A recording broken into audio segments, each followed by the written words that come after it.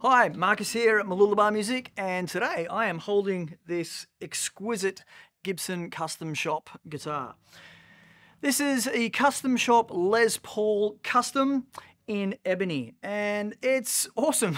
If you love Les Pauls like I love Les Pauls, then you can appreciate what an awesome and incredible guitar this is. So finished off in a high gloss ebony, it's like a piano black, and ebony fingerboard, as in the timber ebony fingerboard with our big block inlays. We have our triple binding around here, and of course our beautiful gold hardware.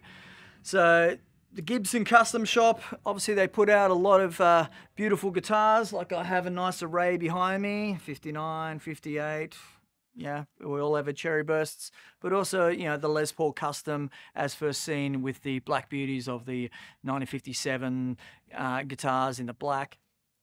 Les Paul Custom, you want to come have a look? Come down to Mooloolaba Music. Enough of my yakking. Let's boogie.